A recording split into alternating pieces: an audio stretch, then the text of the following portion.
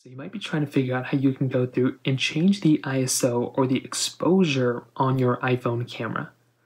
Now doing this is actually very basic and it really doesn't take too much time at all. So to get started, what you're first going to want to do is open up the camera app inside of your device.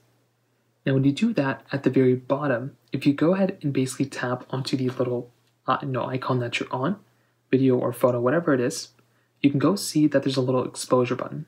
Same thing for photo. If you tap into photo and you tap on photo down here, you basically see these particular options right here as well.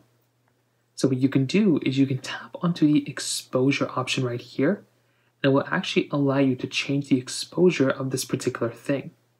So now you can go increase the ISO or decrease the ISO depending on what you want to do. So it's a very basic process. You can see we can basically change it this way.